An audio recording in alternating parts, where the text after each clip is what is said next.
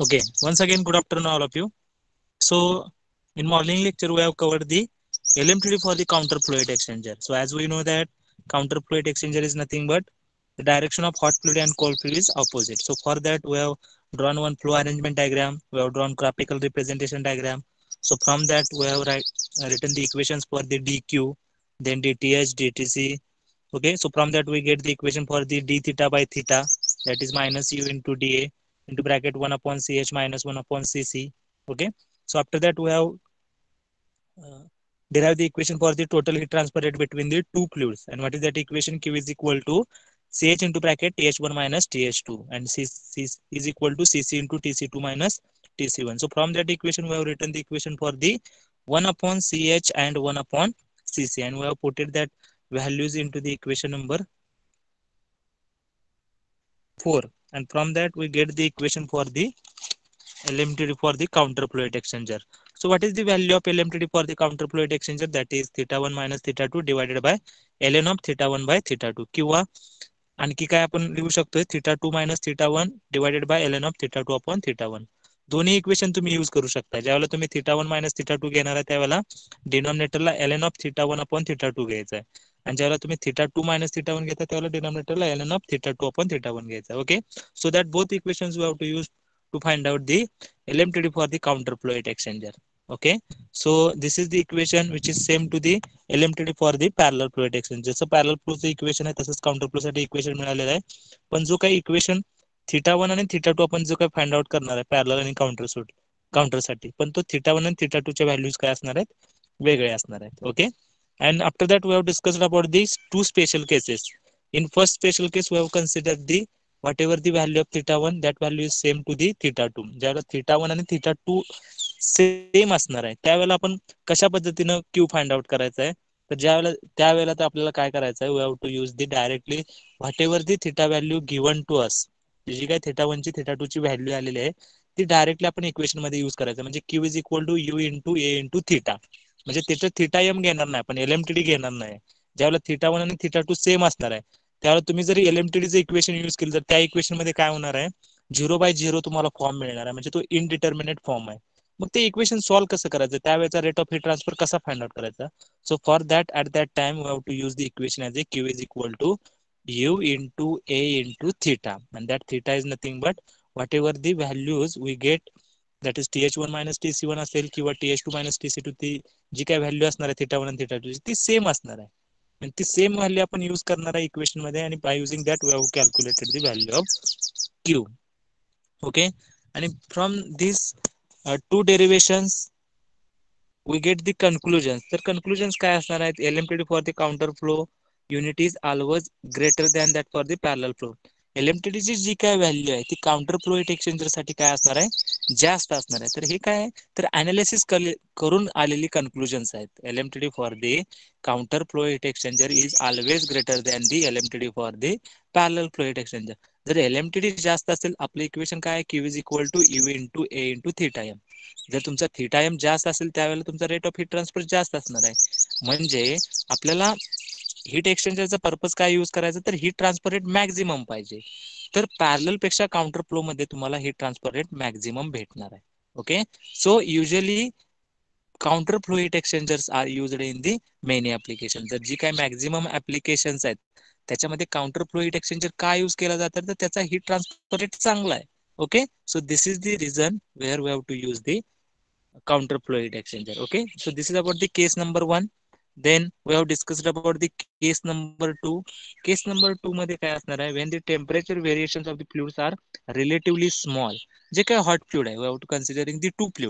hot fluid असेल cold fluid असेल त्याच्यामधला जो काही डिफरन्स आहे तो स्मॉल असेल म्हणजे जर आपण ग्राफिकल रिप्रेझेंटेशनची डायग्राम जर ड्रॉ केली तर ती डायग्राम अप्रॉक्सिमेटली काय येणार आहे स्ट्रेट लाईन येणार आहे okay so at that time we don't use the L M T D we have to use direct AMTD म्हणजे जे काय आपल्याकडे थिटा वनची व्हॅल्यू आहे जी काय आपल्याकडे थिटा टू ची व्हॅल्यू आहे ओके एल फाइंड आउट करायचं म्हटलं तर तुम्हाला theta one minus theta two divided by L N of theta one upon theta two equation use करावं लागेल instead of that we have to put that directly as a theta one plus theta two by two त्या इक्वेशनचा use करून आपण काय करणार आहे ती व्हॅल्यू त्या इक्वेशन मध्ये पुट करणार आहे तर हे एएमटीडी कधीपर्यंत कुठल्या कंडिशन पर्यंत यूज करू शकतो आपण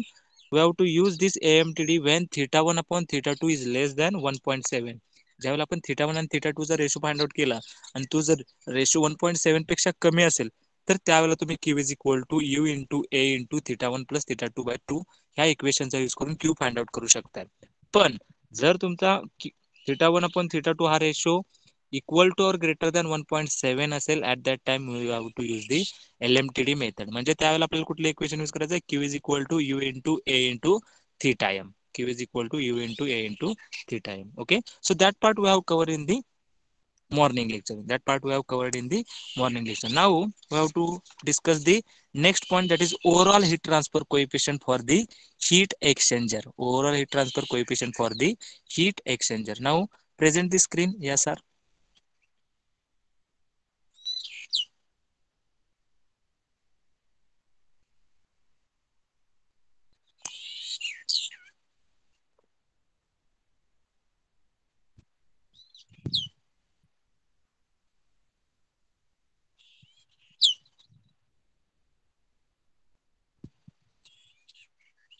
Okay.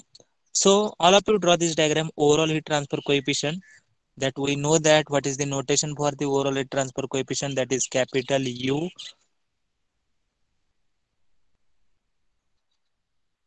okay so all of you draw this diagram okay we have to consider one pipe for that one pipe inner surface is there outer surface is there So from the inside of that pipe, there is a hot fluid. Hot fluid is there, and at the outside of that pipe, there is a cold fluid. Okay okay? म्हणजे दोन pipe आहेत तर आतल्या पाईपमध्ये hot fluid आहे आणि बाहेरच्या मध्ये काय आहे तर कोल्ड फ्लुइड आहे ओके बाहेरची पाईप जी आहे ती थोडीशी मी फेंट दाखवलेली आहे आणि आतली पाईप आहे ती डार्क दाखवलेली आहे तर त्या आतल्या पाईपच्या आतमध्ये काय असणार आहे हॉट फ्लुइड असणार आहे and whatever the inner surface of that pipe that radius is R I okay and whatever the which is present inside having heat transfer coefficient is H I okay the outer surface of that particular pipe having radius is R okay and what that is cold fluid which is present at side of the first pipe and having heat transfer coefficient is H okay आतल्या पाईपमध्ये hot fluid आहे आणि बाहेरच्या मध्ये काय असणार आहे cold fluid आहे आतल्या पाईपमध्ये जो काही हिट ट्रान्सफर कोएफिशियंट आहे तो एच आहे बाहेरच्या पाईपमध्ये जे काही फ्लुइड आहे त्याचा हिट ट्रान्सफर कोएफिशियंट काय आहे तर एच ओ आहे ओके इनर रेडियस आर आहे आउटर रेडियस आर ओ आहे okay so all of to draw this diagram overall heat transfer coefficient. So for that we have to write the equations for the overall heat transfer coefficient for the inner surface and overall heat transfer coefficient for the outer surface.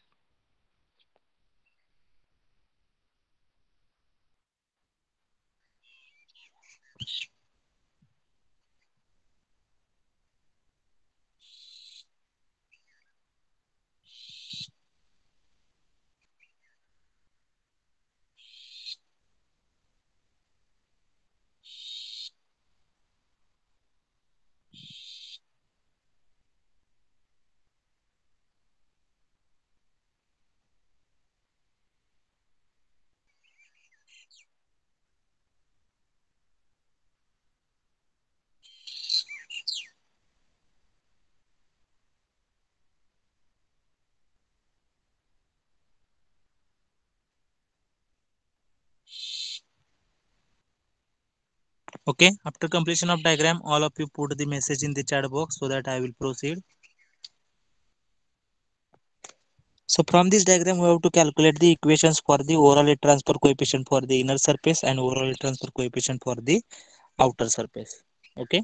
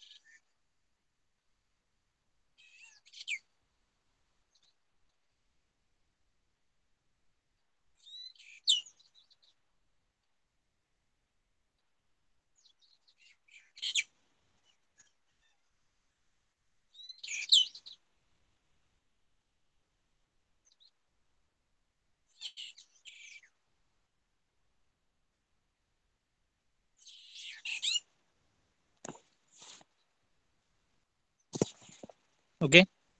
put that message in the chat box diagram is over overall heat transfer coefficient inner pipe is there outer pipe is there in inner pipe there is a hot fluid in the outer pipe there is a cold fluid inner surface having radius is ri outer surface having radius is ro Whatever the hot fluid which is present at the inside surface having heat transfer coefficient is Hi. Whatever the cold fluid which is present at the outside pipe having heat transfer coefficient is HO. Okay, HI and HO is there. Okay, so this is the pipe is nothing but it is a cylinder. Pipe म्हणजेच काय असणार आहे? It is a cylinder. So how to calculate the inner area of this pipe? How to calculate the inner area? so we know that for the cylinder, what is the equation for the calculation of the uh, surface area of the inner or cylinder? That is A is equal to 2 pi into Ri into L. Okay. So we have to write down the equation for the inner surface area and outer surface area. So how to calculate the equation or what is the equation for the inner surface area of the pipe that is AI is equal to 2 pi into Ri into L and what is the area for the outer surface of the inner pipe that is AO is equal to 2 pi into RO into L. Okay. So all of you write down inner area AI is equal to 2 pi RI into L and outer surface area AO is equal to 2 pi RO into L. 2 pi RO into L.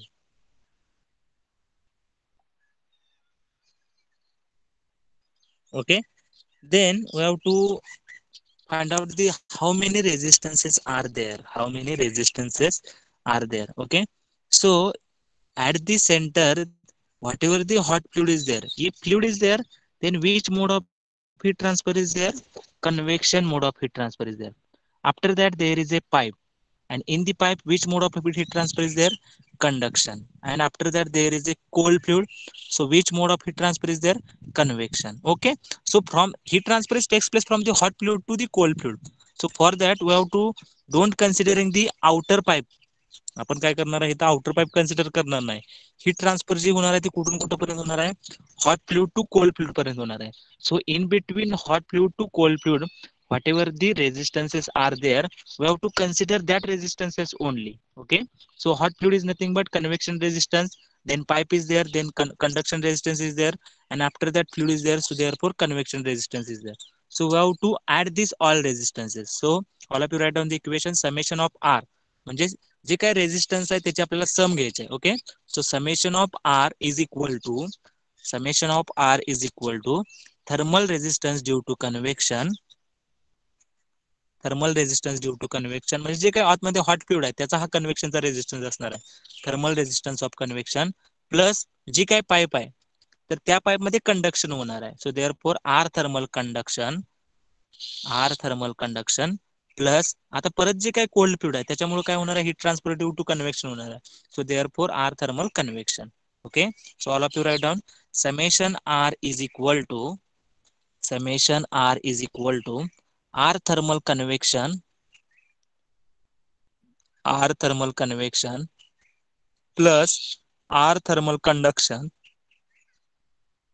R thermal conduction plus R thermal convection, plus R thermal convection.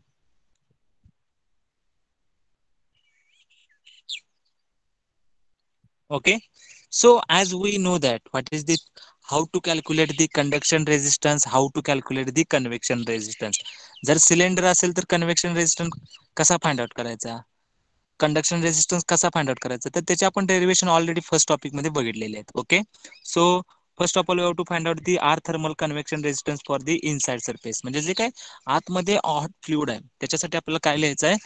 Convection resistance लिहायचं आहे so we know that what is the standard equation to calculate the convection resistance that is one upon H into A आता inner surface आहे म्हणून one upon H I into A आहे okay so all of you write down summation R is equal to what is the value of thermal convection resistance that is one upon H into A so this is for the inner surface so therefore we have to write down 1 upon hi into ai okay then what is the conduction resistance for the cylinder so we have derived the equation for the uh, thermal resistance for the cylinder that is L of आता equation आपल्याला काय मिळालेलं L of R two by R one divided by two pi K L पण इथं radius जे घेतलेले आहेत ते आपण काय घेतलेले आहेत आर वन आणि आर आय घेतलेले आहे so in that manner we have to write down the equation okay so L N of L of R O by R आहे L of R O by R आहे L of R O by R I divided by two pi K L this is the conduction resistance for the cylinder conduction resistance for the cylinder okay then convection resistance for the whatever the cold fluid is there so we know that what is the therm convection resistance that is 1 upon h into a so this is the outer surface so we have the given the notations as a ho and ao so therefore write down plus 1 upon ho into ao 1 upon ho into ao 1 upon ho into ao okay so this is the summation of all resistances. Convection resistance is there, conduction resistance is there, and convection resistance is there. So we have written the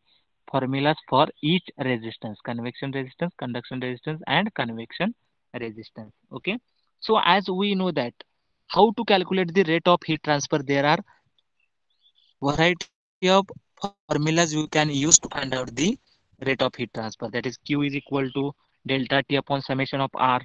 our Q is equal to U into A into delta T. Okay. Or Q is equal to U into A into theta M. So these are the equations by using that we have to calculate the value of Q. So in that manner, we have to write down the equations for the Q. Okay. So Q is equal to what? First equation we have to write down the Q is equal to temperature difference divided by summation of resistance. Okay. This is the one equation we can use to find out the rate of heat transfer. Okay. So write down the equations. There are different equations by using that we can calculate the value of rate of heat transfer okay so we have to write down q is equal to what are the different equations q is equal to delta t that is nothing but temperature difference divided by summation of resistance okay this is the one equation then what is the another equation q is equal to u into delta t write down q is equal to u into a into delta t then for the inner surface and outer surface we have to write down the same equation so therefore ui ai into delta t is equal to uoao delta t okay so these two equations are same to ua delta t but we have to written these equations for the inner surface and outer surface so therefore we have written as a ai into delta t is equal to uoao delta t okay So these are the equations by using that we have to calculate the rate of heat transfer. Okay. Rate of heat transfer. Okay. आता आपण जी दोन equation लिहिले Q is equal to delta T upon summation of R is equal to U into A into delta T म्हणजे आपल्याला कुठलं equation आहे delta T upon summation R is equal to U into A into delta T ही जर दोन equation आपण equate केली तर आपल्याला काय होईल delta T delta T cancel होईल one upon summation R is equal to काय मिळेल आपल्याला यू इन टू ए म्हणजेच डेल्टा टी डेल्टा टी सगळी कसंच कॅन्सल होईल so in that form we get the equation as A U sorry one upon summation R is equal to what U into A is equal to U I into A I is equal to U O into A O okay summation delta T जो आहे तो प्रत्येक term मधून cancel झालेला आहे so we have return the equation for the one upon summation of R is equal to काय मिळणार आहे आपल्याला यू ए किंवा ui into ai qi uo into AO. So we have to write down the equation in that manner. Therefore, 1 upon summation R is equal to U into A is equal to UI into AI is equal to UO into AO. UO into AO. Okay. So 1 upon summation R. So therefore, we have to write down the equations for the summation R. Okay. So what is the equation for the summation R? So we have to take the reciprocal. So therefore, what is the equations for the summation R is equal to what? 1 upon U into A is equal to 1 upon UI into AI is equal to 1 upon UO into AO is equal to 1 upon UO into AO.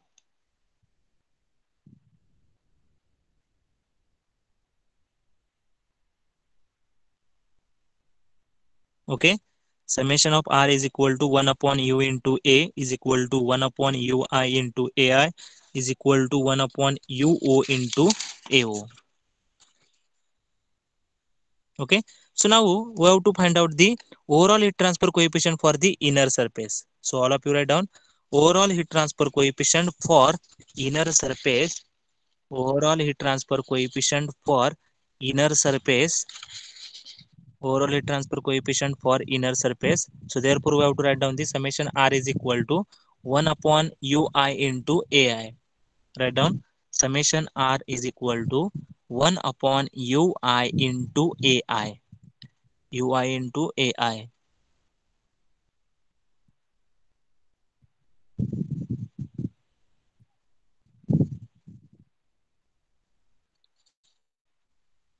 Okay. So what is the value of ui?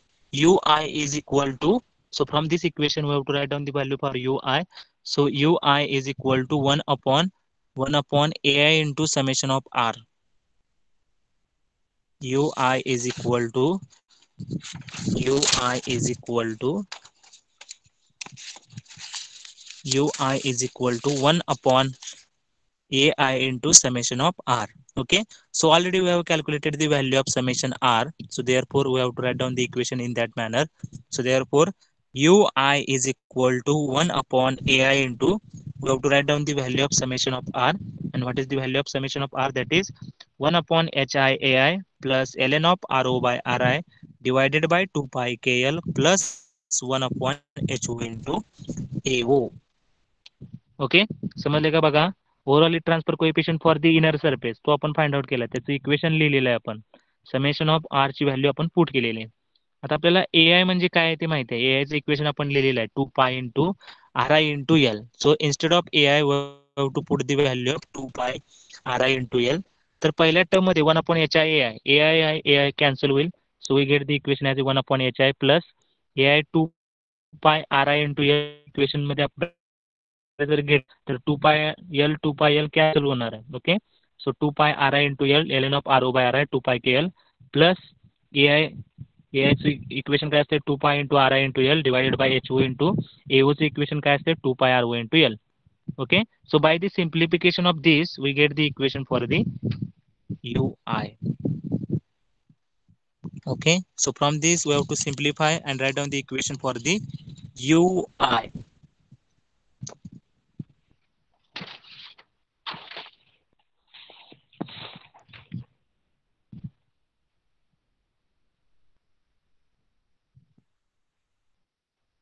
yes sir take it upside okay so we have to write down the equation for this ui is equal to 1 upon so we have to multiply by ai into the bracket so we get the equation as a 1 upon ai ai cancel होईल 1 upon hi ai म्हणजेच 2 pi ri into l असते त्यांना आपण आतमध्ये multiply केलेलं आहे so from that we get the equation for the overall heat transfer coefficient for the inner surface and what is that final equation ui is equal to 1 upon 1 upon hi plus ri by k ln of ro by ri plus ri by ro into 1 upon ho okay so this is the overall heat transfer coefficient for the inner surface overall heat transfer coefficient for the inner surface so in this same manner we have to calculate the overall heat transfer coefficient for the outer surface जसा इनरचा आपण transfer coefficient five hundred केलेला आहे तसा आउटरचा तुम्ही calculate करा कारण तुम्हाला equation माहिती आहे summation of R is equal to काय असणार आहे one of one AO sorry UO to AO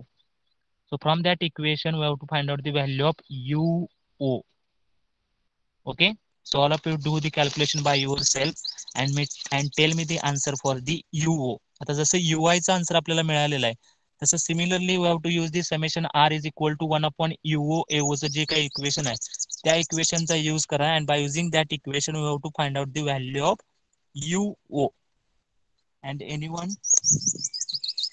unmute yourself and tell me the answer for the EO. Do calculation by yourself and tell me the answer of EO.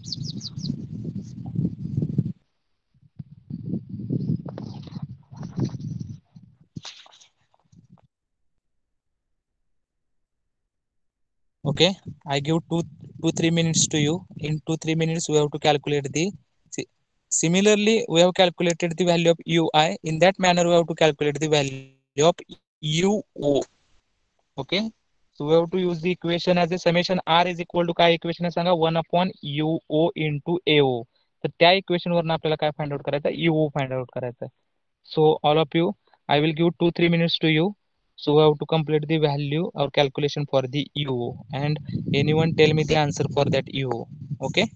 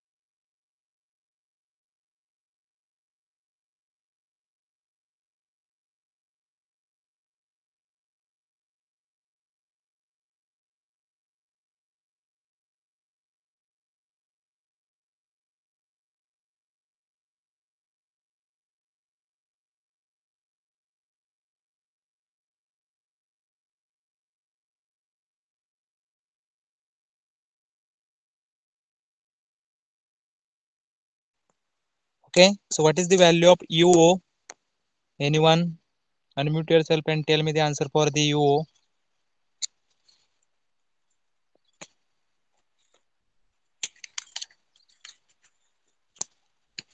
anyone whatever the simplification we have to do for the ui in that manner we have to do the calculation for the uo and what is the answer for the overall transfer coefficient for the outer surface that is Capital EO is equal to what? Anyone?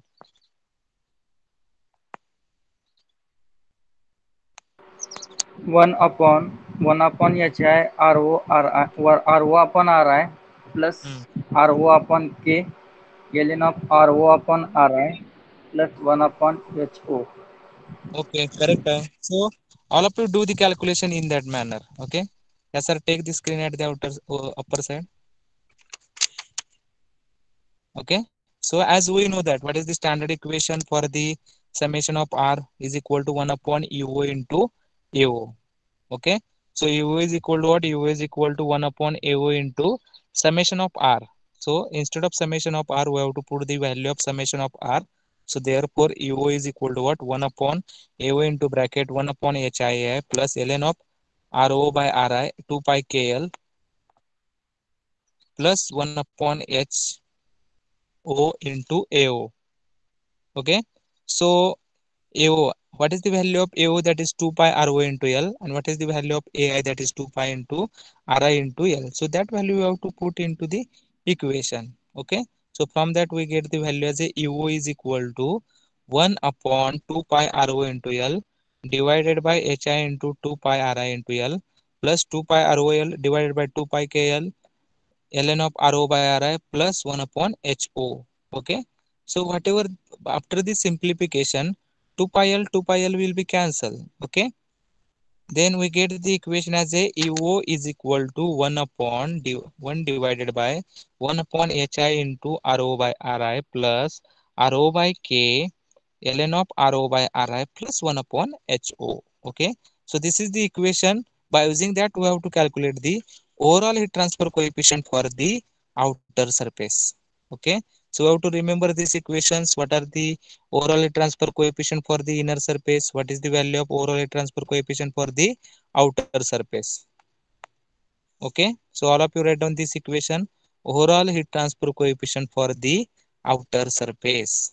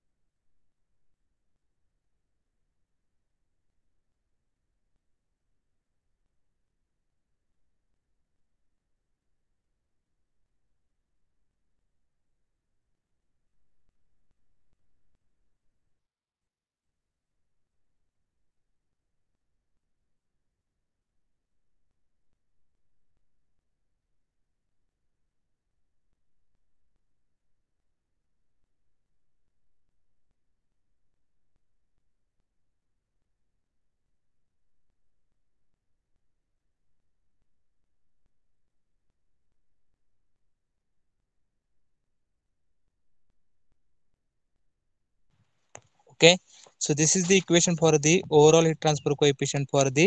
outer surface okay so all of you write down the final equation uo is equal to 1 upon 1 divided by 1 upon hi into ro by ri plus ro by k into ln of ro by ri plus 1 upon ho okay so here we have completed the overall heat transfer coefficient. That point we have completed. Then next line, next new heading, write down falling or scaling factor of heat exchanger falling or scaling factor of heat exchanger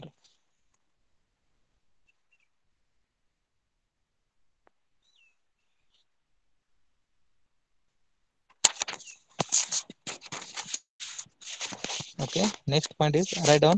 next new heading that is falling or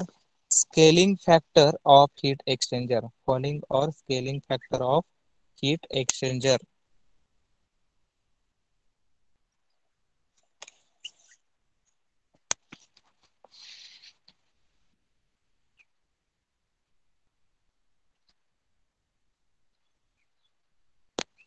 okay so what is mean by fouling okay तर आपल्याला माहित आहे की heat exchanger जे असतं normal operation मध्ये आपण त्याच्यामध्ये हॉट फ्लूड असणार आहे कोल्ड फ्लूड असणार आहे पण जे काही फ्लूड युज करणार आहे त्याच्यामध्ये काय असणार आहे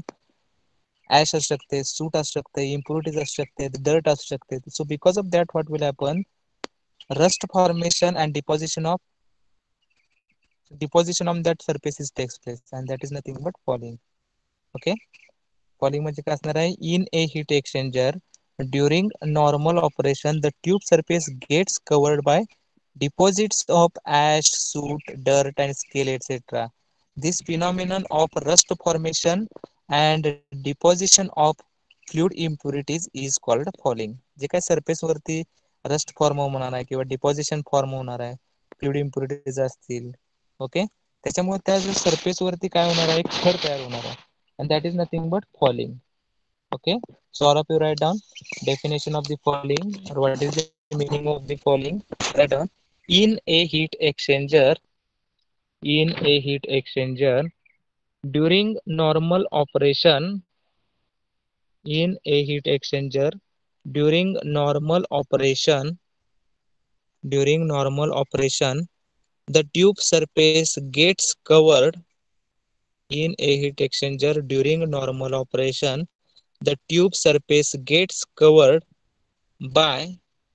the tube surface gets covered by deposits of ash covered by deposits of ash comma soot ash comma soot comma dirt dirt and scale etc deposits of ash soot comma dirt and scale etc deposits of ash soot, dirt, and scale, etc. Full stop. This phenomenon of this phenomenon of rust formation and deposition of this phenomenon of this phenomenon of rust formation and deposition of fluid impurities this phenomenon of rust formation and deposition of fluid impurities is called fouling is called fouling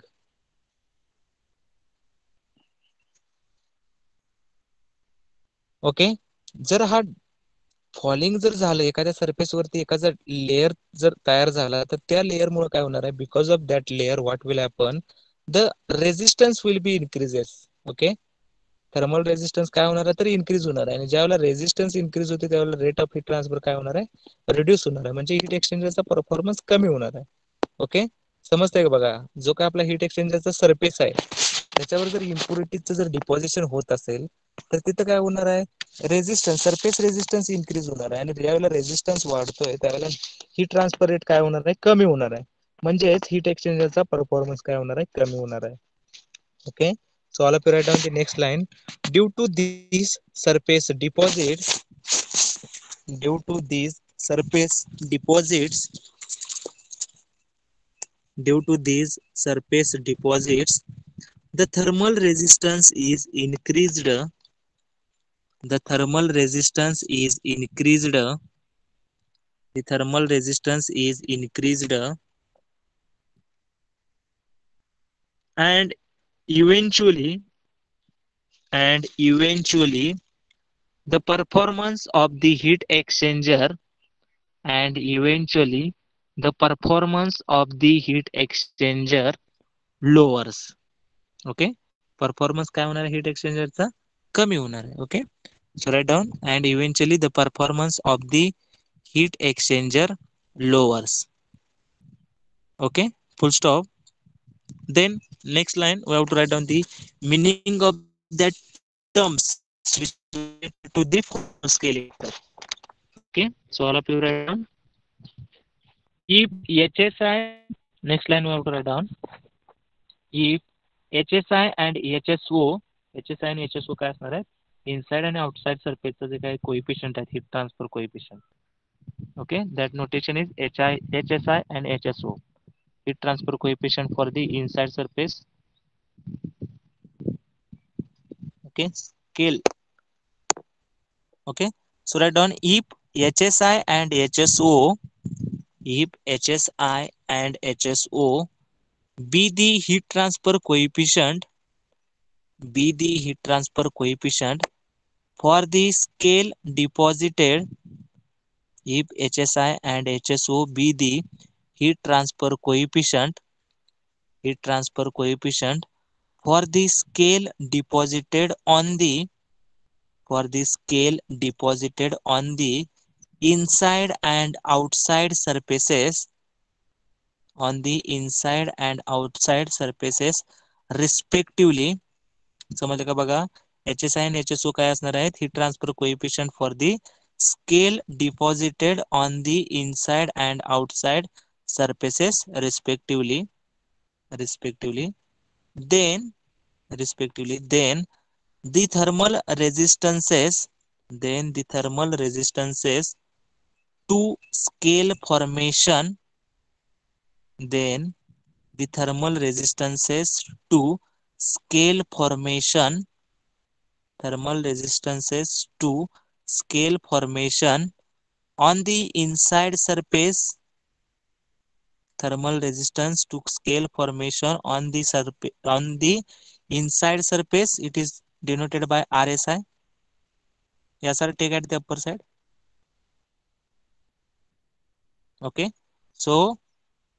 thermal resistance to the scale formation on the inside surface that is in bracket rsi on the inside surface that is rsi resistance to scale formation on the inside surface it is denoted by RSI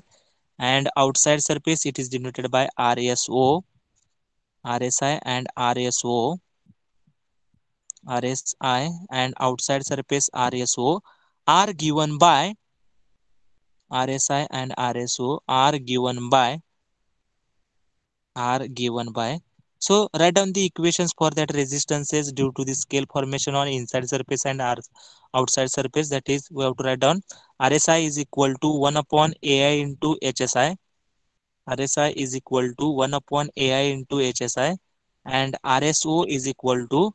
RSO is equal to 1 upon AO into HSO. RSO is equal to 1 upon AO into HSO. One upon AO into H S O okay हे काय आहे तर हे स्केलचे resistance आहेत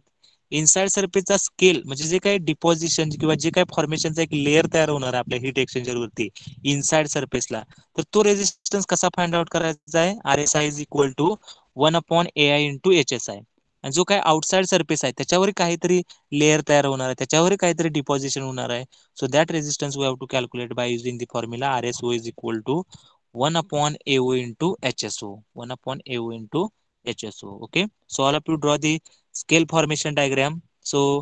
two pipe are there inner pipe and outer pipe so for the inner pipe inside surface there is a formation of scale on the outside surface there is a formation of scale okay in inner pipe there is a hot fluid in the outer pipe there is a cold fluid okay so hot, whatever the hot fluid having temperature is ti whatever the cold fluid having temperature is to inside surface radius is ri outside surface radius is ro okay so all of you draw this scale diagram म्हणजे formation of scale झालेलं आहे त्या surface वरती काहीतरी layer तयार झालेला आहे deposition मुळे तो आपण डार्क लाईन न दाखवलेला आहे तिथे डार्क केलेला आहे तो जो लेयर असणार आहे तिथं काय झालेलं आहे स्केल फॉर्मेशन झालेलं आहे इनर सरफेसला आणि outer सरफेसला so all of you draw this diagram all of you draw this diagram I will give two minutes to you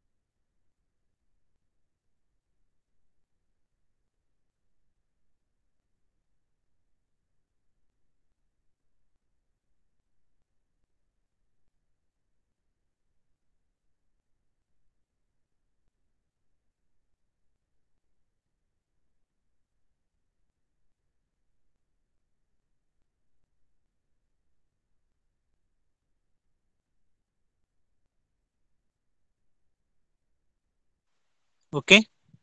so all of you completed the diagram inner pipe is there outer pipe is there inner pipe hot fluid is there outer pipe cold fluid is there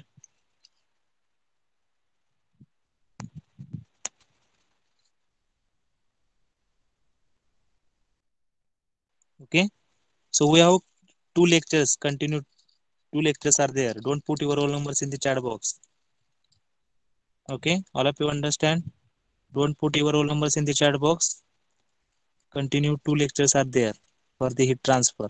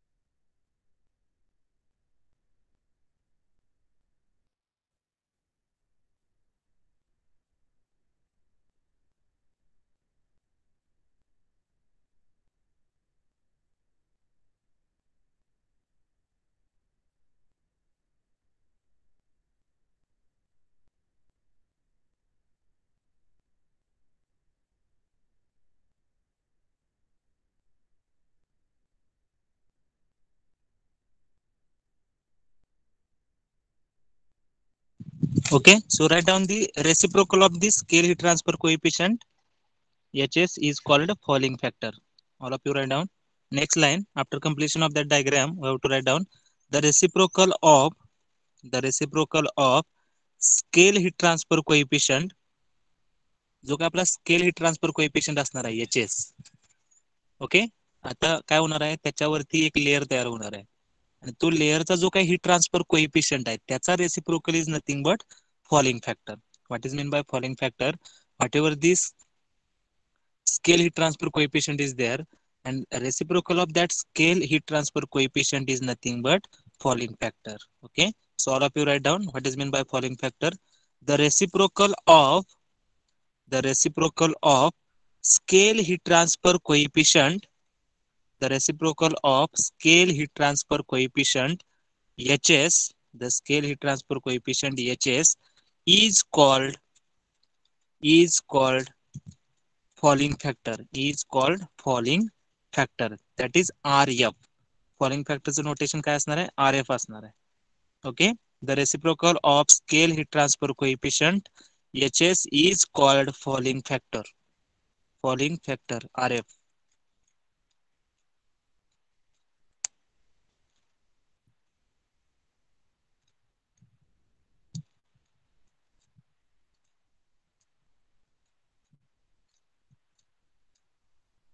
Okay, so therefore we have to write down following factor RF is equal to reciprocal of HS. So RF is equal to 1 upon HS. So therefore we have to write down RF is equal to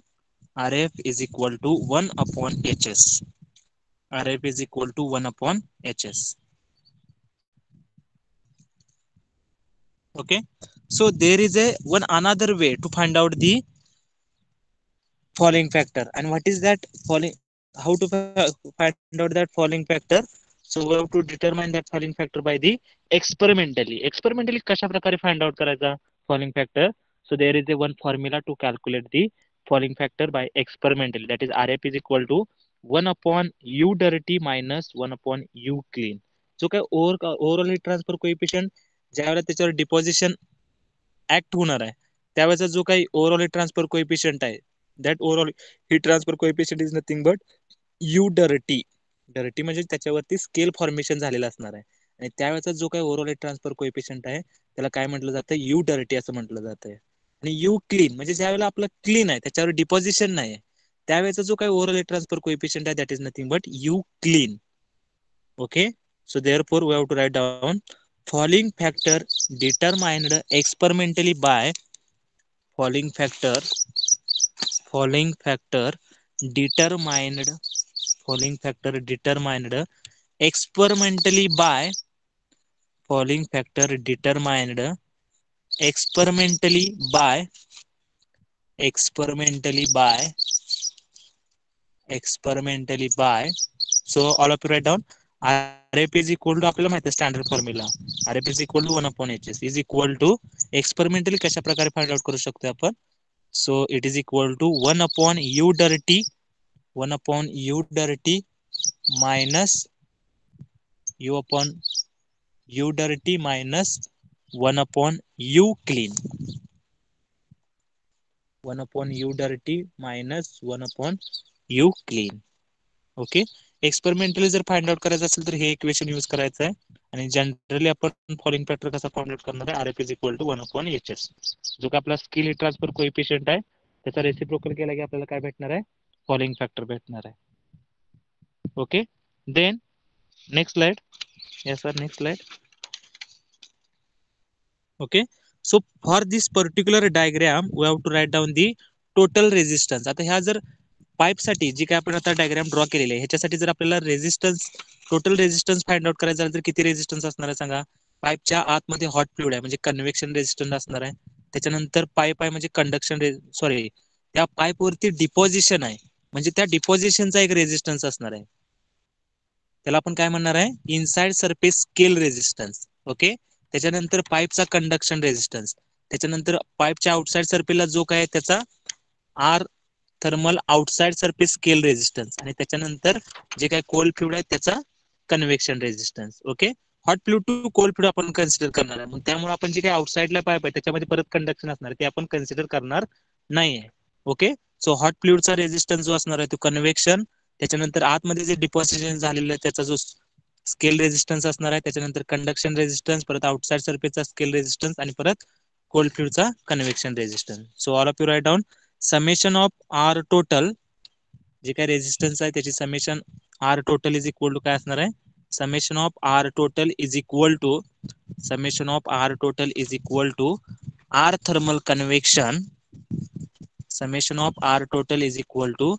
R thermal convection plus R thermal convection plus R thermal inside surface scale R thermal inside surface scale R thermal inside surface scale inside surface तो scale resistance आहे okay plus R thermal conduction त्याच्यानंतर pipe आहे त्या पाईपमध्ये काय होणार आहे conduction होणार आहे so plus R thermal conduction plus R thermal conduction plus R thermal conduction plus R thermal outside surface चा स्केल रेजिस्टन्स असणार आहे so write on plus R thermal outside surface scale resistance plus R thermal outside surface scale resistance plus जे काय cold fluid आहे त्याच्यामुळे काय होणार आहे कन्व्हेक्शन होणार आहे so therefore plus R thermal convection plus R thermal convection so now have to write down the equation of each resistance जे काय आपण रेजिस्टन्स पाच रेजिस्टन्स असं म्हणतो आपण तर त्या प्रत्येक रेझिस्टन्सचे आपल्याला व्हॅल्यू लिहायचे तर आपल्याला माहिती आहे कन्व्हेक्शन रेझिस्टन्स असेल तर आपण कुठले इक्वेशन युज करतो one upon A I H आहे कंडक्शन असेल सिलेंडर साठी तर L N of R O by R I divided by two pi K L आपण त्याच्यानंतर स्केल रेझिस्टन्स इक्वेशन ऑलरेडी लिहिलेलं आहे one upon A I to H S आहे so in that manner we have to write down the each equation of the each resistance so therefore all of you write down summation of r is equal to summation of r is equal to 1 upon ai hi summation of r is equal to 1 upon ai hi 1 upon ai hi plus 1 upon ai hsi plus 1 upon ai into hsi हा स्केलचा resistance असणार आहे so therefore one upon A I into H S I plus conduction resistance का रास्ते L N of R O by R I divided by two pi K L L N of R O by R I divided by two pi K L two pi K L plus one upon A into H S O plus one upon A into H S O one upon A into H S O plus plus one upon A into H O plus 1 upon AO into HO. 1 upon AO into HO. Okay. So by using these equations, we have to calculate the overall transfer coefficient for the inner surface and overall transfer coefficient for the outer surface. Okay. So as we know that what is the equation for the overall transfer coefficient for the inner surface? That is ui is equal to 1 upon summation of r into ai. Already आपण हे इक्वेशनचा use करून मग overall transfer coefficient for the inner surface find out केलेलं आहे in that manner if there is a deposition is takes place at that time what is the overall transfer coefficient for the inner surface ते आपल्याला find out करायचं आहे okay so write down U I is equal to one upon summation of R into A I okay so therefore we to write down U I is equal to one upon A I into write down the summation of R into bracket one upon A I H I plus one upon A I H S I plus L N of R O by R I to divided by two pi K L plus one upon A O H S O plus one upon A O H O one upon A O H O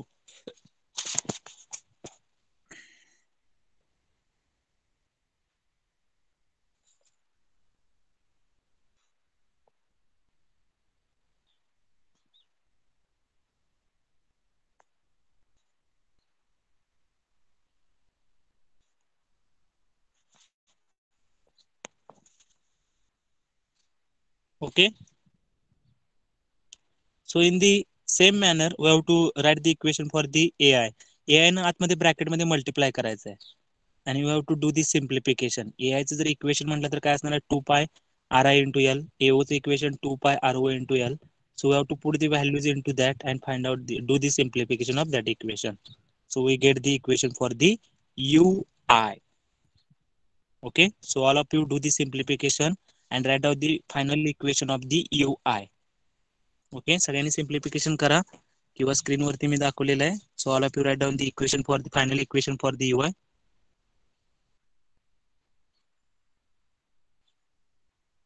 simple आहे A आयच्या जागेला ए I न आतमध्ये multiply करा आणि आयच्या जागेला two pi R I into L आणि एओच्या जागेला two pi R O into L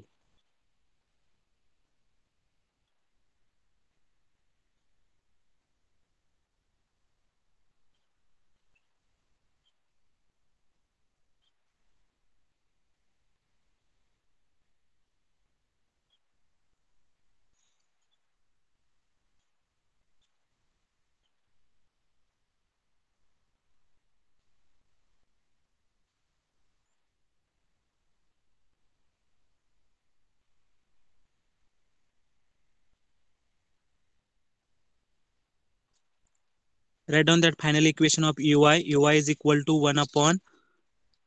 1 upon hi plus rfi rfi का आलेलं सांगा 1 upon hsi म्हणजे rfi असते मग अशा आपण लिहिलेलं equation rfi is equal to 1 upon hsi कारण scale heat transfer coefficient fouling factor म्हणजे काय असतं ते त्याचा रेसिप्रोकल असते so R F I is equal to one upon H S I so instead of one upon H S I we puted the value of R F I आणि one upon H S जागेला R F O put केलेलं आहे so therefore final equation we get as a U I is equal to one divided by one upon H I plus R F I plus R I upon K L N of R O by R I plus R I by R O into R F O plus R I by R O into one upon H O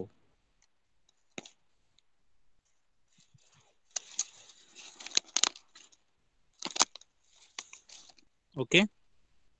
R I upon R O into one upon H O I लक्षात ठेवा H O दिसत नाही ते one upon H O one upon H O is there so this is the equation for the overall heat transfer coefficient for the inner surface okay in the same manner we have to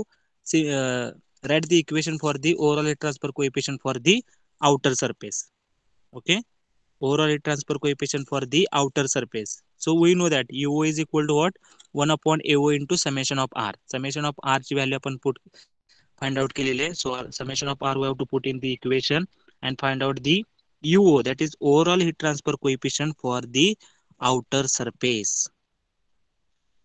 okay so overall heat transfer coefficient for the outer surface next we have to write down overall heat transfer coefficient for outer surface overall heat transfer coefficient for overall heat transfer coefficient for outer surface overall heat transfer coefficient for outer surface so therefore we have to write down uo is equal to uo is equal to 1 divided by uo is equal to 1 divided by ao into summation r ao into AO into summation R.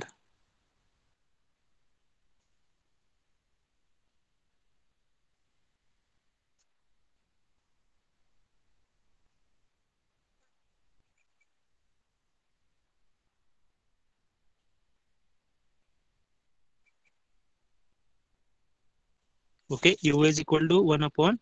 a into summation of r now we have to put the value of summation of r so u is equal to 1 upon AO into A. Write down that bracket value 1 upon AI plus 1 upon AI HSI plus ln of RO by RI divided by 2 pi KL plus 1 upon AOHSO plus 1 upon AOHO. Okay. Then put the value into this equation, do the simplification. Then we get the value of UO. Okay. In the form of RFI RFO.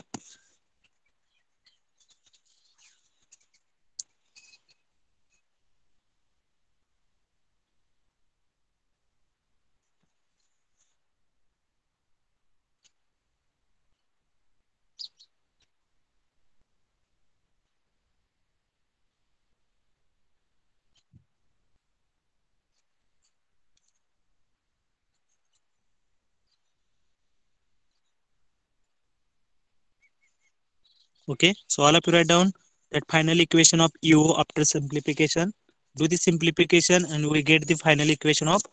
uo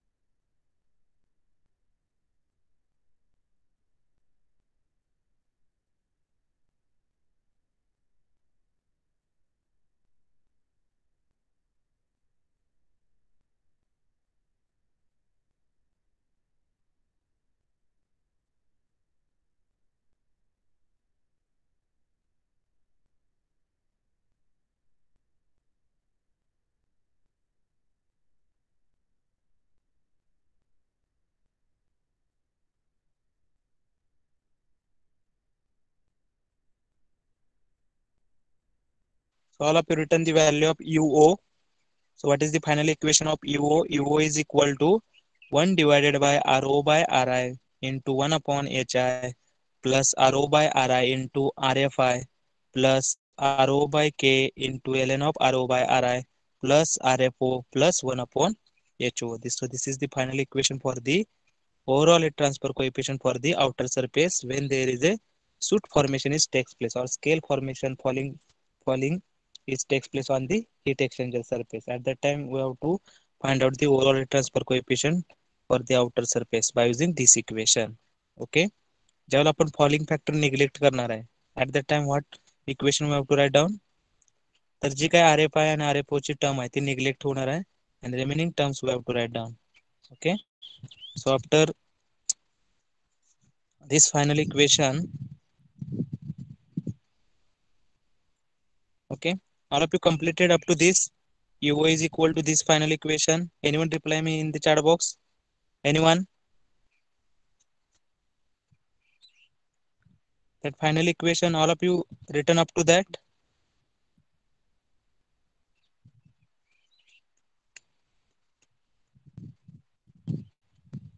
okay i will give two minutes you have to complete that up to the EO.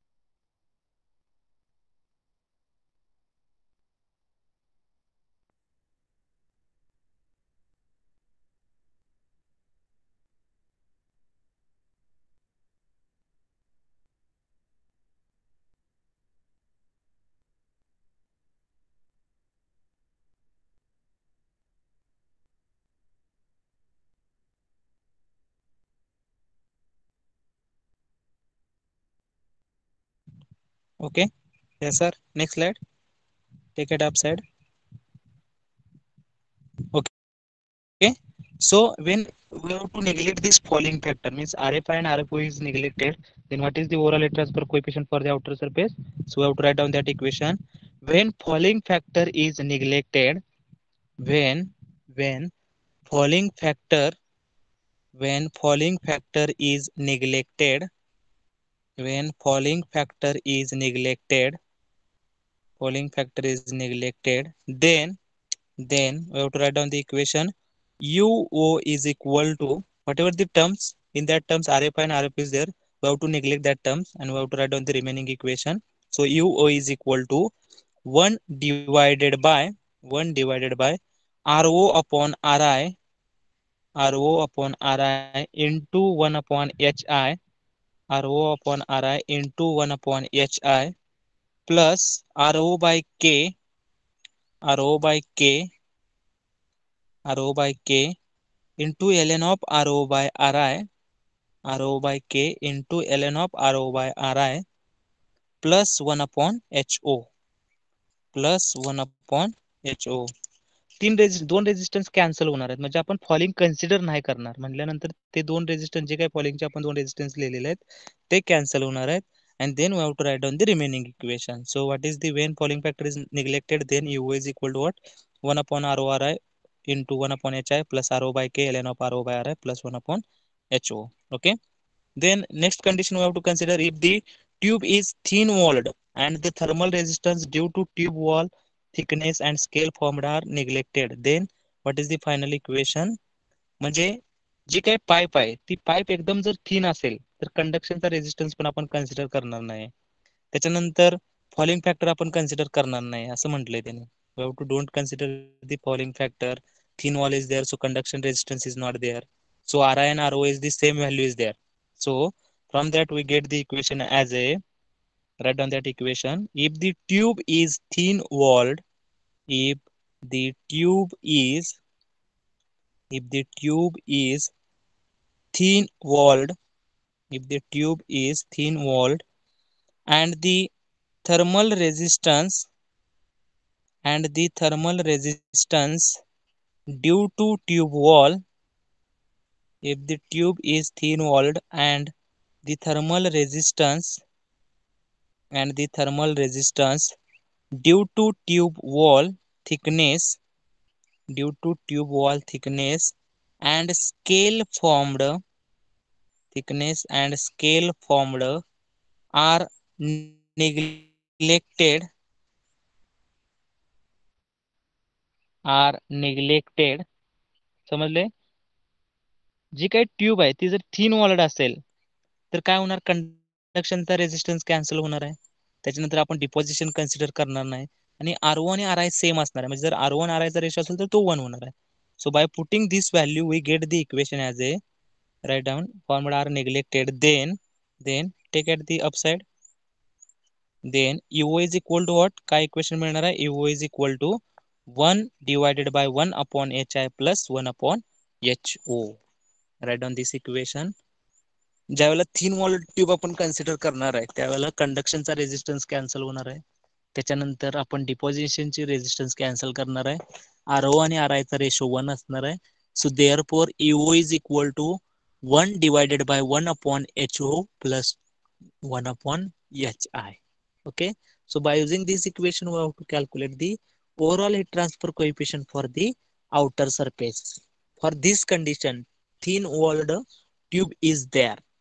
okay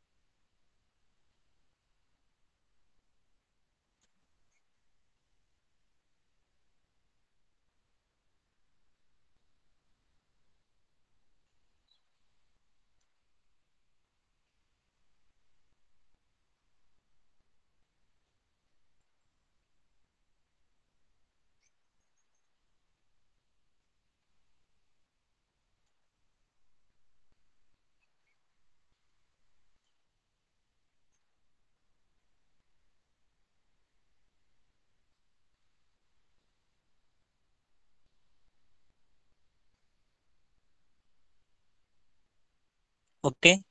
Now we have to solve these some problems which is related to this LMTD method, overall heat transfer coefficient. On the basis of this, we have to solve the two, three problems related to this. Okay. So all of you write down the first problem. All of you write down. So we have to solve this problem and we have to stop there. So all of you write down this first problem. Write down the flow rates of write down the flow rates of the flow rates of hot and the flow rates of hot and cold water streams the flow rates of the flow rates of hot and cold water streams hot and cold water streams running through a parallel flow heat exchangers the flow rates of hot and cold water streams, hot and cold water streams running through, running through a parallel flow heat exchangers, running through a parallel flow heat exchangers, running through a parallel flow heat exchangers, parallel flow heat exchangers are parallel fluid exchangers are 0.2 kg per second 0.2 kg per second and 0.5 kg per second respectively 0.2 kg per second and 0.5 kg per second respectively respectively respectively full stop the inlet temperature the inlet temperature on the hot and cold sides the inlet temperature the inlet temperature on the cold sorry on the hot and cold sides on the hot and cold slides sides are hot and cold sides are 75 degrees celsius and 20 degrees celsius respectively on the hot and cold sides are 75 degrees Celsius and 20 degrees Celsius respectively 75 and 20 degrees Celsius respectively respectively okay full stop the exit temperature of hot water is the exit temperature of hot water is the exit temperature of hot water is 45 degrees Celsius. The exit temperature of hot water is 45 degrees Celsius. 45 degrees Celsius. Full stop. 45 degrees Celsius. Full stop. If the individual heat transfer coefficient, if the individual individual heat transfer coefficients individual heat transfer coefficients on both sides on both sides are on both sides are on both sides are 650 watt per meter square degree celsius if the individual heat transfer coefficients on both sides are on both sides are 650 watt per meter square degree Celsius. Heat transfer coefficients on both sides are 650 watt per meter square degree Celsius. Calculate the area of the heat exchanger. Calculate the area of the heat exchanger. Calculate the area of the heat exchanger okay so all of you read that problem carefully we have to understood what is to be given in that problem we have to draw the graphical representation for this information and from that we have to use out formula area तर आपल्याला समजलं पाहिजे की area find out करायचं तर आपल्याला area असलेली कुठली कुठली इक्वेशन आहेत तर Q is equal to U into A into theta M हे स्टँडर्ड इक्वेशन आहे तर आपल्याला इथं क्यू दिलाय का तर क्यू नाही दिलेला क्यू कॅल्क्युलेट करायला लागेल यू ओव्हरऑल ट्रान्सफर कोएफिशियंट दिलाय का तर ओव्हरऑल ट्रान्सफर पण कोएफिशियंट पण दिलेला नाही तो पण आपल्याला कॅल्क्युलेट करावा लागेल थिटा एम दिलेला नाही तो पण आपल्याला कॅल्क्युलेट करायला लागेल तर आपल्याला one by one have to calculate the each value first of all have to calculate the Q then have to calculate the theta M then have to calculate the U and then have to calculate the area okay so all of you first of all you have to read that problem carefully and draw the diagram whatever the given things okay so the flow rates of hot and cold water streams running through a parallel flow exchanger तर आपल्याला हे समजले की हा जो heat exchanger आहे तो parallel flow heat exchanger आहे म्हणजे ह्याच्यामध्ये जे काही हॉट फ्लुइड आहे आणि कोल्ड फ्लुइड आहे त्याची डायरेक्शन काय असणार आहे सेम असणार आहे समजले पॅरल फ्लो हीट एक्सचेंजर आहे म्हटल्यानंतर आपल्याला हे कळायला पाहिजे की दोन्ही फ्लुईडची डायरेक्शन सेम आहे आणि त्याचं ग्राफिकल रिप्रेझेंटेशन आपल्याला माहिती असलं पाहिजे okay then they given the flow rates of the hot आणि कोल्ड वॉटर स्ट्रीम्स म्हणजे हॉट फ्लुईडचं जी काही मास फ्लो रेट आहे तो दिलेला आहे म्हणजे एम डॉट एच दिलेला आहे so all of you write down the given things given given hot fluid जे आहे त्याचा काय दिलेला आहे मास फ्लो रेट दिलेला आहे so there to write down M dot H is equal to point two K G per second M dot H is equal to point two K G per second तसंच त्यांनी cold फ्लुईडचा आपण mass flow rate दिलेला आहे सोळा flow rate on M dot C is equal to M dot C is equal to point five K G per second M dot C is equal to point five K G per second okay समजले hot fluid आणि cold फ्लुईडची direction same आहे hot फ्लुईडच्या म्हणजे एका सेकंदात किती K G water flow होणार हॉट हॉट वॉटर फ्लो होणार आहे एका सेकंदात किती कोल्ड वॉटर फ्लो होणार ते मास फ्लो रेट आपल्याला दिलेले आहेत okay then the inlet temperature on the hot and cold sides are seventy five and twenty degree Celsius म्हणजे इनलेटचं हॉट आणि कोल्ड फ्लूडचं टेम्परेचर दिलेलं आहे आता हॉट फ्लूडचं इनलेट टेम्परेचर म्हणजे काय असणार आहे T H one so T H one is equal to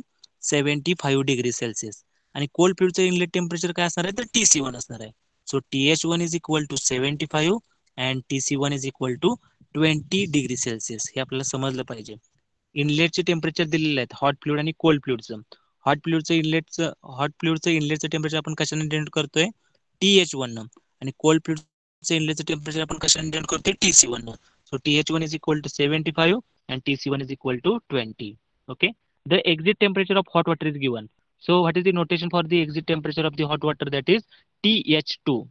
okay so T H two is given T H two is equal to forty five degree Celsius okay T H two is equal to forty five degree Celsius full stop T H two is equal to forty five degree Celsius then if the individual heat transfer coefficient on both sides are six fifty watt per metre square degree Celsius म्हणजे both साईडचा म्हणजे inner side आणि outer side त्याची heat transfer coefficient दिलेले आहेत म्हणजे H I आणि H O दिलेले आहेत ओके सो एच आय आणि एच ओ बोथ साईडला त्यांनी सेमच आहे म्हणून सांगितलेलं आहे so you have to write down HI is equal to 650 watt per meter square degree Celsius and HO is equal to 650 watt per meter square degree Celsius. समजले का बघा हीट ट्रान्सफर कोएफिशियंट दिलेले आहे दोन्ही साईडचे दोन्ही साईड म्हणजे inner side आणि outer side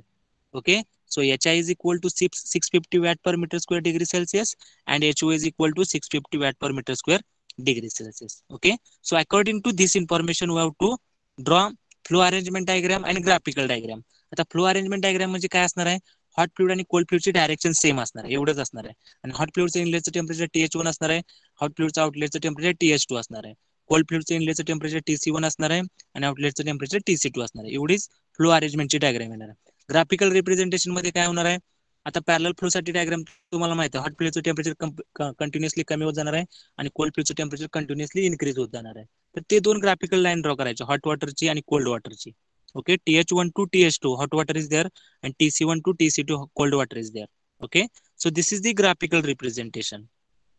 okay तर आपल्याला first of all you have to find out the value of Q so first of all all of you draw this flow arrangement diagram and graphical diagram flow arrangement diagram आणि graphical diagram सगळ्यांनी complete करा okay calculate the area of the heat exchanger म्हणजे A is equal to question mark करा in the given things we have to A is equal to question mark आपल्याला area find out करायचा आहे so A is equal to question mark after that we have to draw the flow arrangement diagram and graphical diagram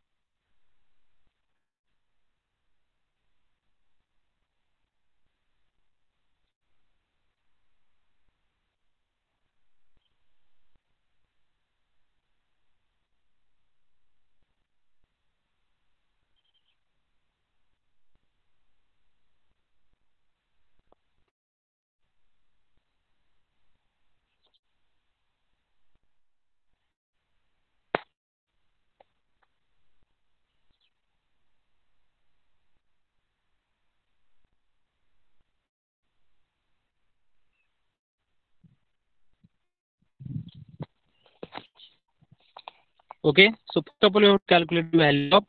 heat transfer rate means we have to find out the value of तर तोच आपल्याला equation standard म्हटलं असेल तर आपण काय करू शकतो M dot P H N T H one minus T H two किंवा कोल्ड जर सगळी इन्फॉर्मेशन दिली असेल तर M dot C two C P C two T C two minus T C so by that okay upper side yes sir so first of all you have to find out heat transfer rate the तर hot फूडचं आपलं इनलेटचं temperature माहीत आउटलेटचं temperature माहीत from that to to easily find out the value of Q Okay. So first of all, you have to find out the value Q. So I'll write down the heat transfer rate. The heat transfer rate Q is equal to heat transfer rate Q equal to m dot A into CPH into TH1 minus TH2. The तुला T C two म्हणजे cold आउटलेटचं जर temperature दिलं तर त्याच्यावरनं सुद्धा आपण find out करू शकलो असतो M dot C two C C two T C two minus T C one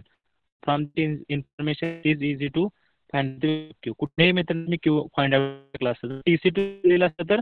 cold फ्लूडचं इक्वेशन आता या इन्फॉर्मेशन दिलेली therefore to use the equation as a Q is equal to M dot A into C P into T H one minus T H two okay M dot A केलेला आहे point to C P of hot fluid वॉटरची specific काय point one eight nine into T H one seventy five and T H two forty five from that we get value of Q write down that is equal twenty five point one two kilo joule per second तुम्ही calculation करून बघा answer correct आहे का नाही ते check करा okay so Q is equal to M dot H into C P H into T H one minus T H two all values are given to us 0.2 into 4.187 into 75 minus 45 so from that we get the value of q so q is equal to 25.122 kilojoule per second okay तर आता आपल्याला माहित आहे जे काय hot फ्लूडचं temperature कमी होणार आहे तेवढंच कोल्ड फ्लूडचं टेम्परेचर वाढणार आहे म्हणजे हीट फ्लू हॉट फ्लूड जेवढी हीट लॉस करते तेवढं कोल्ड फ्लूड काय करते हीट गेन करते म्हणजे ती जी व्हॅल्यू असते ती सेम असते okay so what is that equation heat lost by hot water heat lost by hot water is equal to heat gained by cold water. Okay, so all of you write down heat lost by hot water is equal to heat gained by cold water. दोन्हीचे equation लिहा heat lost by hot water कसं calculate करतोय आपण M dot H into C P H into T H one minus T H two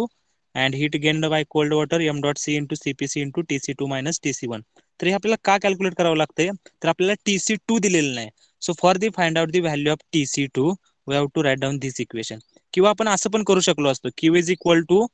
M dot C into CPC into T C two minus T C one तर ची value आपण already find out केलेली आहे Q is equal to ती equation लिहून त्याच्यावरून आपण T C two ची व्हॅल्यू फाइंड आउट करू शकलो असतो पण इथं काय केलेलं आहे आपण दोन्ही इक्वेशन इक्वेट करून केलेलं आहे पण लेफ्ट हँड साईडचं जे काही कॅल्क्युलेशन आहे ते ऑलरेडी आपण आन्सर फाइंड आउट केलेलं आहे पण twenty five point one two two so instead of that left hand side we have to write on that directly answer as a twenty five point one two two is equal to point five into four point one eight seven T C two minus twenty so from that we get the value of temperature of cold water at the outlet and we get the answer as a thirty two degree Celsius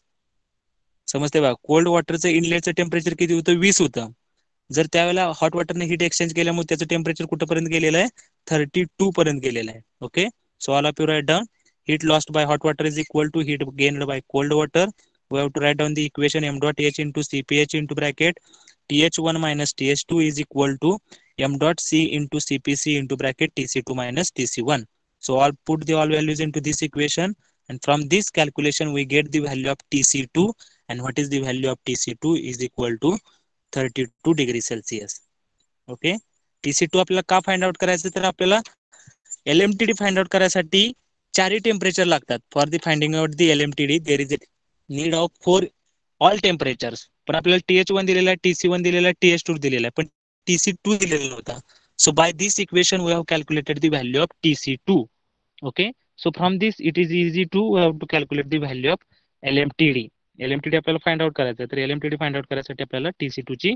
गरज आहे समजले तर सगळ्यांनी लिहिले का बघा इथं up to this TC two is equal to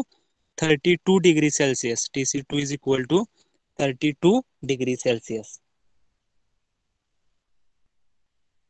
एक मिनिटात कंप्लीट करा सगळ्यांनी within one minute we have to complete the up to the T C two is equal to thirty two degree Celsius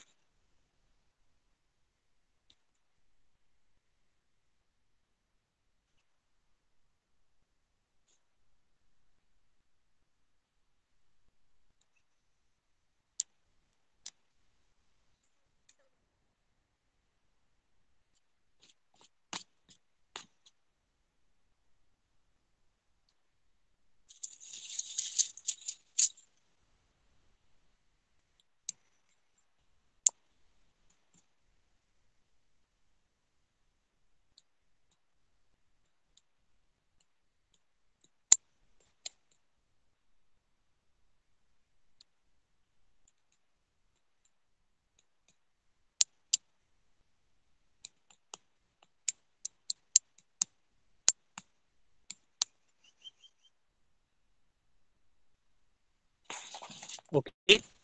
so T C two is equal to thirty two degree Celsius आता आपण काय find out केलेलं आहे Q find out केलेला आहे T C two find out केलेला आहे our M is to calculate the area एरियासाठी आपल्याला काय लागणार आहे Q is equal to U into theta T M त्या इक्वेशन मध्ये क्यू आपण कॅल्क्युलेट केलेला यू आपल्याला फाइंड आउट करायचा थीटा एम फाइंड आउट करायचा so now have to find out the value of theta M so L for the parallel fluid exchanger what is the equation for the L T theta M is equal to theta one minus theta two divide divided by L N of theta one upon theta two theta one म्हणजे काय असते left hand साईडचे जे काही temperature आहे त्याचा difference म्हणजे T H one minus T C one आणि थिटा टू म्हणजे राईट हँड साईडला जे काही टेम्परेचर त्याचा डिफरन्स म्हणजे T H two minus T C two okay so all of you put theta one is nothing but T H one minus T C one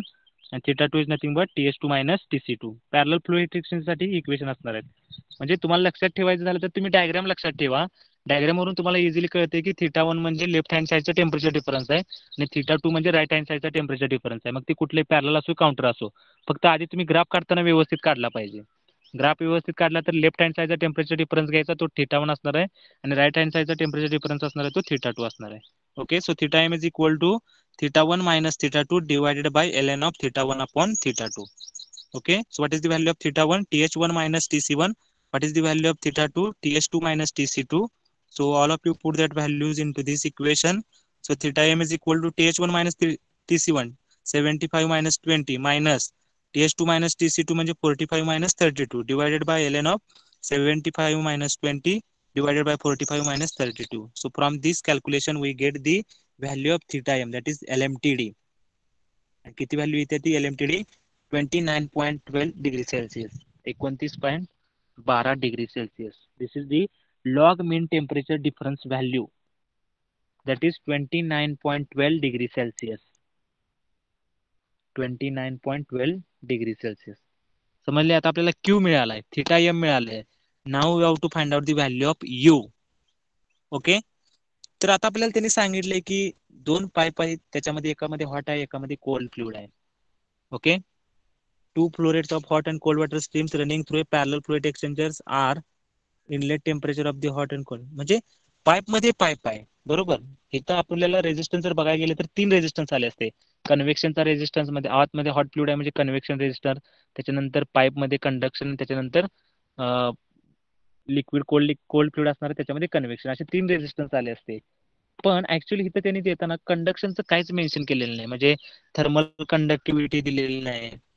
तर त्याच्यामुळे आपण इथं कंडक्शन रेजिस्टन्स कन्सिडर करणार नाही so have to consider only two convection resistance one convection resistance due to the hot fluid and one convection resistance due to the cold fluid okay so as we know that what is the standard equation to find out the overall heat transfer coefficient that is u is equal to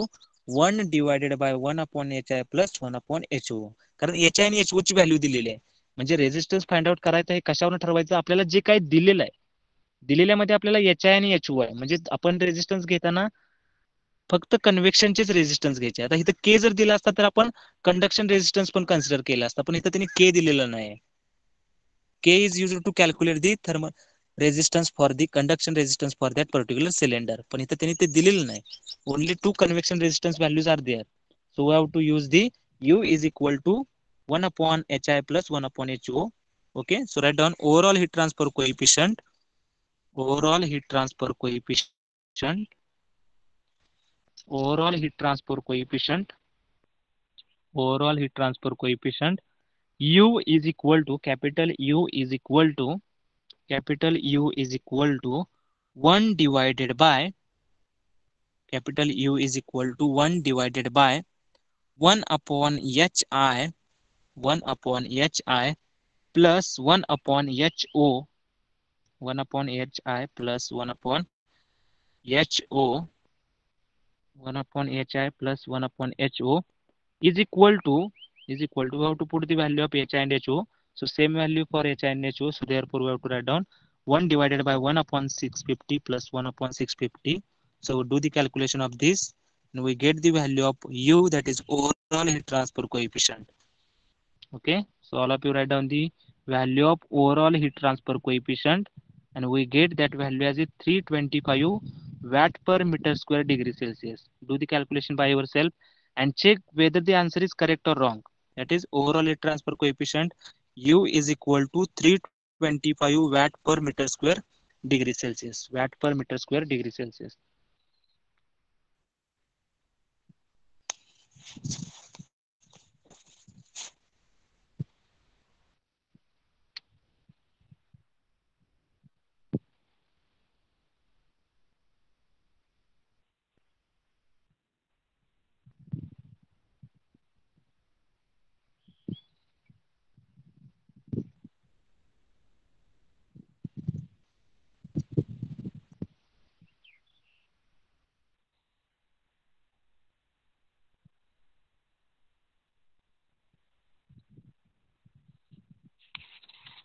okay so we know that standard equation of q q is equal to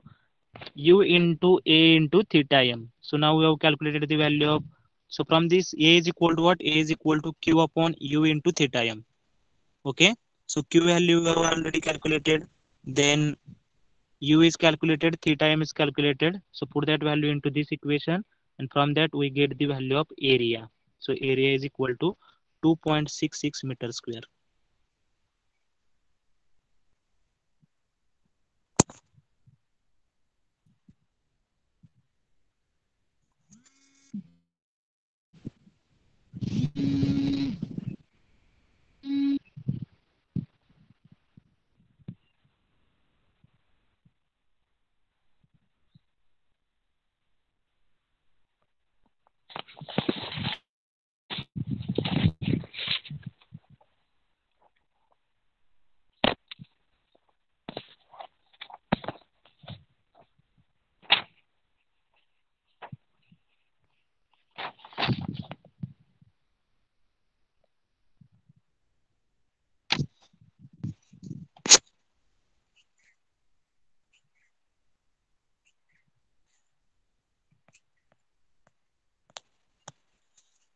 okay all of you complete this